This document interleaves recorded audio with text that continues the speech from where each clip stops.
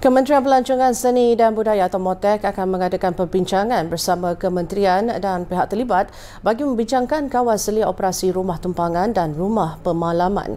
Menteri Pelancongan Seni dan Budaya Datuk Seri Tiong King Sing berkata, isu berkaitan daftar masuk dan daftar keluar bukan di bawah bidang kuasa MOTEK, sebaliknya di bawah kerajaan negeri dan pihak berkuasa tempatan. Tetapi kawalan selia dan penguasa operasi hotel bukan terletak di bawah Kementerian Pelancongan Sini dan Budaya Motek.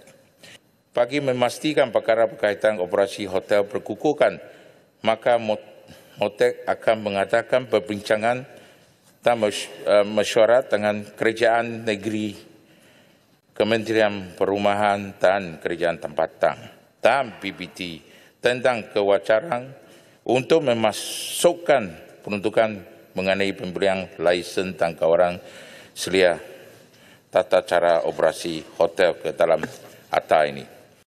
Beliau berkata demikian ketika menjawab soalan ahli Parlimen Bukit Gantang Datuk Said Abu Hussein Hafiz Said Abdul Fasal yang ingin tahu pemantauan serius oleh pihak Motek berkaitan isu penetapan waktu daftar masuk dan daftar keluar oleh pengusaha hotel di Dewan Rakyat Kuala Lumpur hari ini. Ia susulan rungutan orang ramai mengenai ketidakadilan hotel tempatan yang sewenang-wenangnya mengubah waktu daftar masuk dan keluar hotel yang ditetapkan pada jam 4 petang dan daftar keluar pada jam 11 pagi.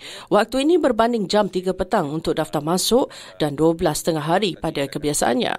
Jelas Datuk Seri Tiong King Sing, Motek menerusi kenyataan yang dikeluarkan pada 17 Oktober lalu telah menyatakan kekurangan tenaga pekerja di bahagian pengemasan sebuah hotel mengakibatkan berlakunya kelewatan masa pendaftaran masuk.